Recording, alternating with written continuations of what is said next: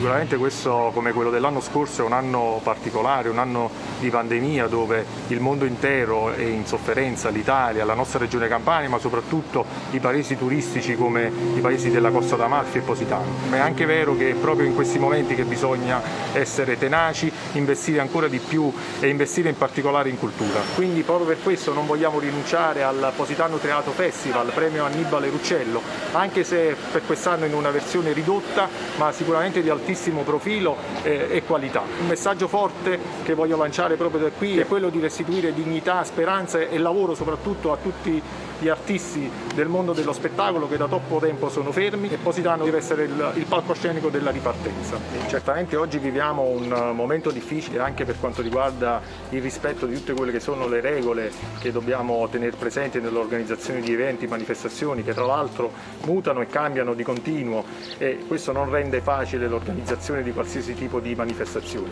Eh, in particolare per quanto riguarda il, il nostro teatro, eh, il punto di forza di questa iniziativa era proprio eh, la sua eh, natura itinerante. Chiaramente nel rispetto delle ultime disposizioni che ci sono pervenute abbiamo dovuto reinventarci, quindi l'obiettivo sarà quello di sfruttare il nostro anfiteatro, di creare una sorta di bolla e di portare avanti un evento che sarà uno dei primi eventi covid free nella costiera amalfitana.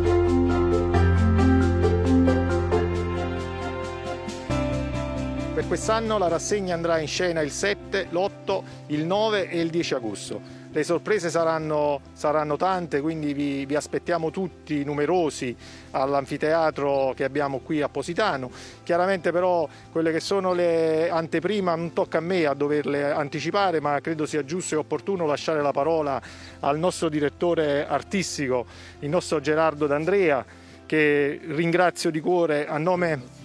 Buongiorno Gerardo, io ti volevo prima di passare la parola ringraziarti per tutto quello che hai fatto per Positano in questi anni, perché chiaramente se il teatro, questa iniziativa e questo festival è un teatro di successo, è certamente merito tuo che rappresenti l'anima e il cuore di questa manifestazione. E soprattutto grazie al vostro sostegno, perché senza di questo assolutamente non c'è niente da fare. Volevate sapere il programma? No, non lo dico lo dirò insieme al sindaco nella conferenza stampa che si farà. Vi posso però dire una grossa anticipazione. L'anticipazione si tratta di uno spettacolo su Milva, recentemente scomparsa, questa grande, incredibile, maestosa interprete, attrice ed artista.